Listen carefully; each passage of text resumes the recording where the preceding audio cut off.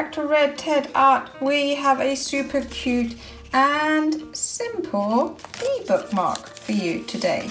Come on, let's take a look and see how it's made. So we will need mainly some yellow paper, white for wings, and a little bit of black, but you can also use black pen if you don't have black paper. First thing we need to do is create our basic corner bookmark. And we do that, or your basic square. So we do that by folding up the triangle, cutting along this edge. Now keep this for other projects or some baby bees and we'll turn this into a corner bookmark. Bring the corner up. Bring this corner up. Open, fold down, bring this over, tuck it in and repeat. Bring it over, tuck it in, repeat. Now if you need to, you can rewind and watch that again slowly. Now I'm going to just give it a little bit of a shape at the front so that I've got a little bit of a face. I'm going to cut it this side actually because then I can see what I'm doing. This is going to be the front of my bee. Don't cut too much, that will do.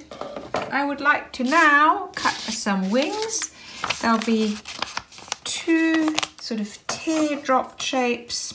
I'm just going to cut them out and then see if I like the size.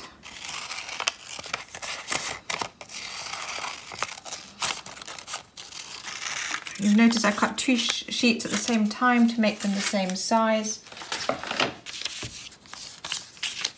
I think that will work. What do you think? That looks all right, doesn't it?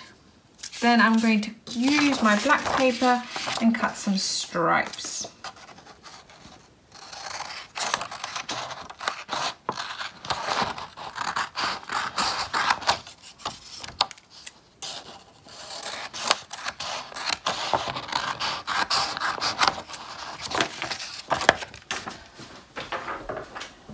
My scissors have got something sticky on them. Right, let's have a look.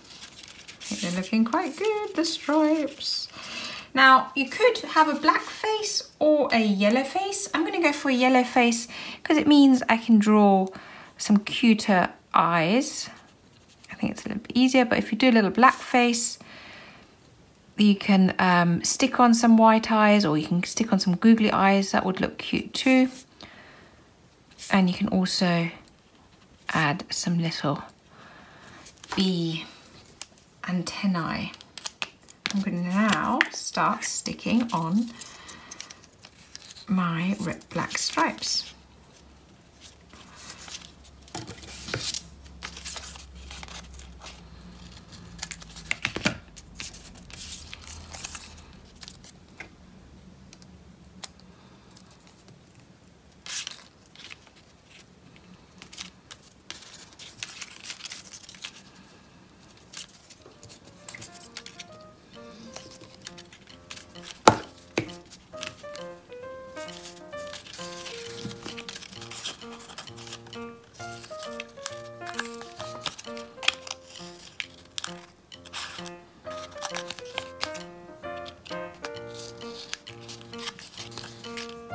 Now, if you wish, you can give it a little pointy bit at the end. You know, it's got the little stinger.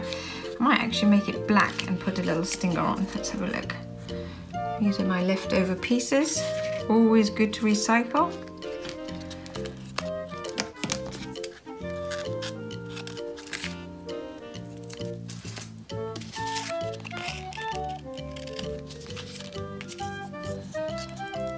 Uh,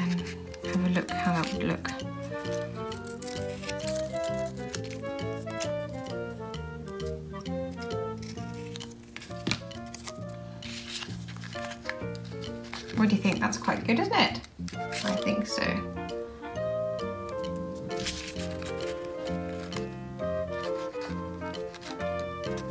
And then all that's left to do is stick the wings on. Isn't that an adorable bee? So cute.